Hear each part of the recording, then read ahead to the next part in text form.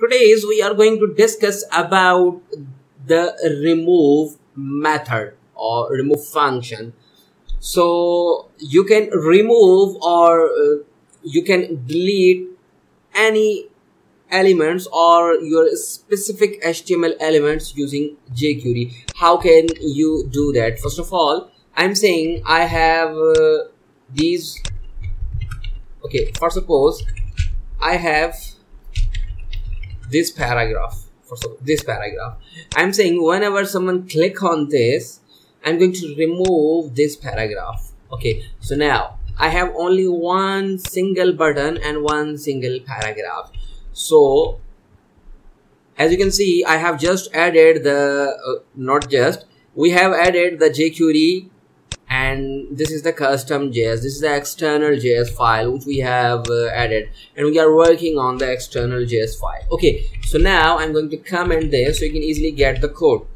Okay so now I'm saying whenever someone click on this this button we are going to remove this paragraph. So how can we do that? I'm saying i have a single button so that's why uh, uh, i'm not creating the I'm not creating the selector using the class or that. You can also add the class. For suppose if you have a my class and just call the class and paste it. Okay. You can call the class with the help of dot. That means you are calling a class. It's very basics okay. Now i'm saying whenever someone click on the button i'm going to create a function. Okay. So now i'm saying find all paragraphs and remove them. Okay now go to your page refresh the page click on this. As you can see you have just removed the paragraph. So now refresh the page. So now as you can see this is your paragraph and this is your button. So click on this. So now as you can see you have just removed the paragraph. We have a single paragraph. For suppose if you have multiple paragraphs go to your page refresh the page. Now click on this button. So now as you can see you have just removed your multiple paragraphs. So you have multiple paragraphs. Click on this. As you can see you have just removed. Okay so now if you want to remove specific elements how can you do that? For suppose uh, this element has a class my para. You can add any class as you want call the class with dot go to your page refresh the page click on this. As you can see you have just you have five elements. One two three four five. You are removing this element. Just click on this. You have just removed. If i'm saying that uh, i'm going to add the inline styling. Inline styling is not recommend but but i am using the inline styling. Uh, i'm saying color red. Okay fine.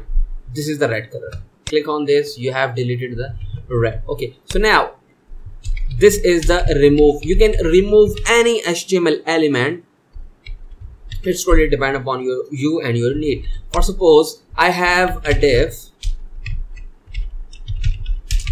and now all elements available inside the div now i'm saying whenever someone click on this i'm going to empty this div make sure i'm going i'm saying that i'm going to empty. That that means i'm cleaning all the content inside this div because we have a single div inside our body. So that's why i'm saying whenever someone click on the button just div find the div. And i'm saying just clean the content by using the empty function or empty method. Okay now go to your page refresh the page inspect elements. As you can see you have a div and inside the div you have multiple paragraphs. Click on this. So now as you can see your div is now empty. Okay? If you are using the remove function that means you are removing the div inspect element div inside the div you have five elements. Just click on this that and now as you can see you have just removed the div so it's totally depend upon you and your need. So thank you for watching